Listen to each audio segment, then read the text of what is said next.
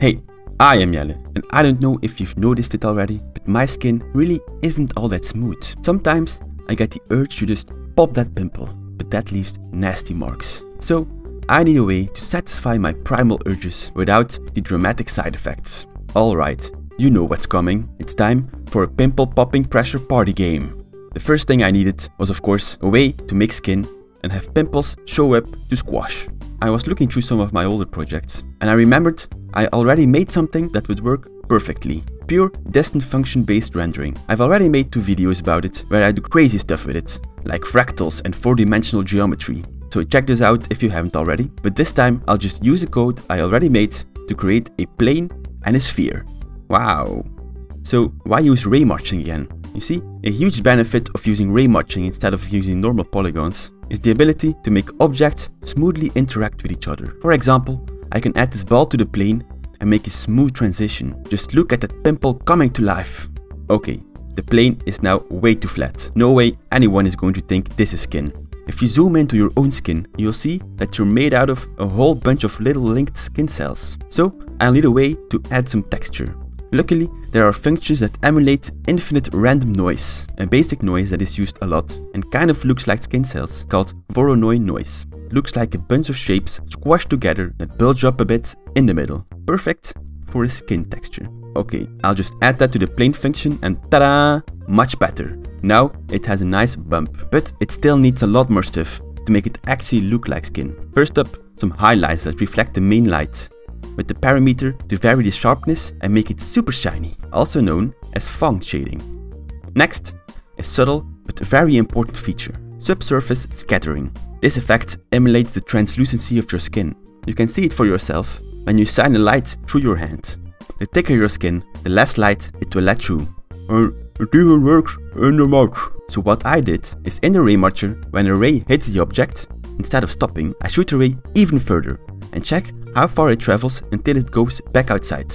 And then uh, I mix the hit point color with the light color. Parts of the shape that are very shallow are much more infected by the light than the deeper parts. So now you get a nice gradient and you see that the edges are much lighter. You know, pimples aren't pimples without some slime coming out. So I made some slime balls and made a script to render cylinders between them. Then I smooth things out and add physics to the balls with some sphere colliders and some spring joints. And ta-da! Sticky slime. Can you imagine all of that coming out of a single pimple? Well, now you can. Now, the pimple has an initial red bump, then a smaller green spot on top as it ripens, and when it gets popped, a gaping hole where the slime comes exploding out.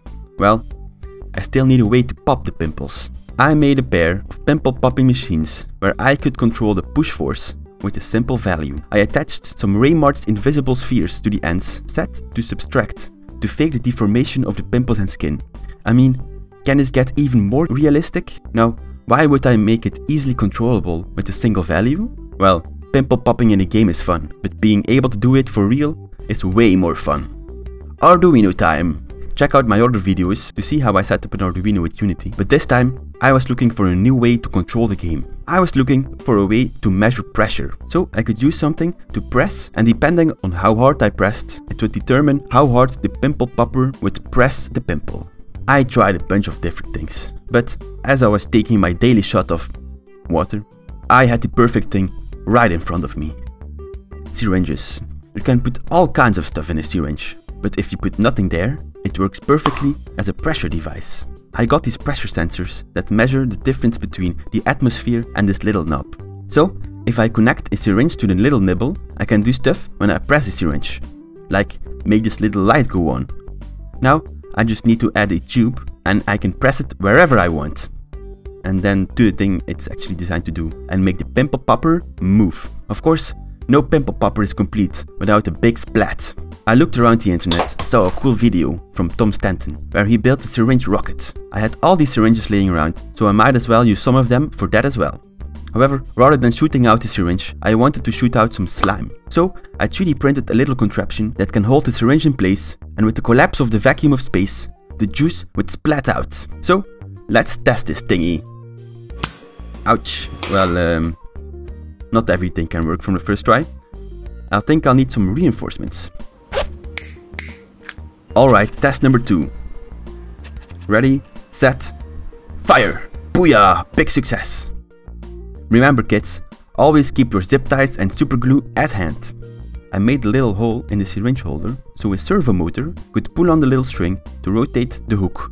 Now, if I send a signal from the game to the Arduino, I can make the servo motor move and shoot out the stuff. Alright, back in the game. Now I have the basic control setup, so it was time for some more graphic stuff. I made some hairs and rigged them up so they can flow in the wind, and sprinkled them all over the place. To make it look even more like a microenvironment, I made some particles in the distance and added a dirty screen texture. Now it's like you're looking through a micro camera, trying to find the pimple. I lowered the render distance a whole bunch and added some thick fog, so you'll only be able to see what's right in front of you. Also, I replaced those stupid demo arms with some proper 3D models. Now, to make this into an actual game, well, what kind of game can you play with slime balls? Well, what about basketball? Are you able to aim your projectile into the net and safely transport the slime for further examination? Let's see. I created a basketball hoop and set up the scoring system. When you score a slime ball, the syringe rocket slime shooter gets activated. Alright, everything in the game is in place. Now, let's build the controller.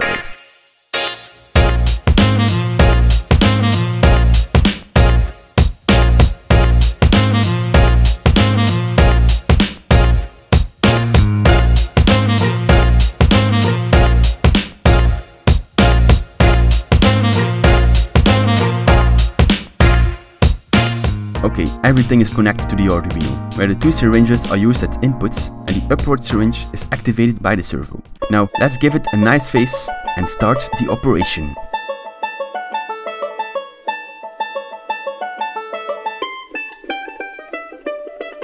Okay, let's see, what do we have here? Okay, okay. Hmm, hmm, yes, that is a very big pimple.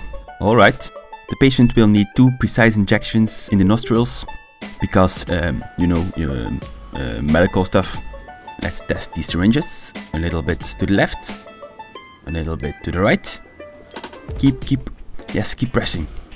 Just a little bit, a little bit more on the left. A little bit, a little bit more on the right. It needs to be that straight. I really need to hit that goal if I want to be employee of the month. Oh, I feel it. We are getting close. Yes, yes, just a little bit more pressure. Ah! Whoa! Whoa! Well, the slime is out. And it even hit the goal. Yes! That is a win-win. A clean patient and a nice score. Well, luckily I have a face mask on. Alright, uh, what to, so what mm, you know what, mission accomplished. Dr. Jelle signing off. Whew. Another successful surgery. For now, my urges are satisfied and I can get back to doing some uh, more productive things. Like and subscribe if you enjoyed this pimple popping extravaganza. And if you want to feel the satisfaction for yourself, I made a little keyboard version for all of you to play as well. And I'll see you guys next time, where I will survive a whole month on eating only virtual food. Or something else, I don't know what I'll do yet. Bye!